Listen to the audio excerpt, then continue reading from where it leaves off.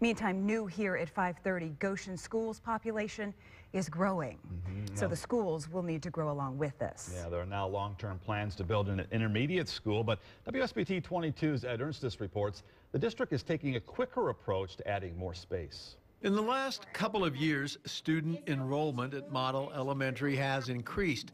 It's due in part to the number of new families enrolling.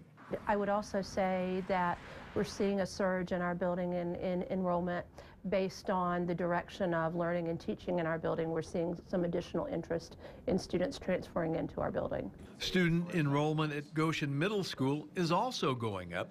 Next year, it will have the largest numbers of students ever. Currently, we're at 450 at the middle school. In three years, it's going to be up to 1,637 if enrollment stays the same. So that's 187 kids. So we're already a little crowded for space.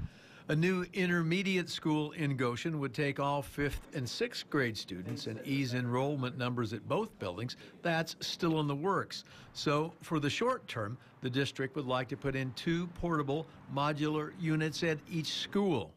There are a couple types of modules. You can have a single classroom modular, which fits about around 30 students.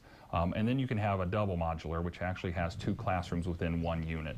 Right now, the school system is taking a look at the type of modular unit that would prove to be the best fit for both schools according to the sizes needed and plan to have those in place before the beginning of the next school year. Our goal would be to have them ready for the first day of school on August 4th. And so hopefully we'll get them placed beginning to mid-July and then work with the schools to determine what classes can go out there. Having modulars at our building would give us additional space for teaching and learning, which we desperately need.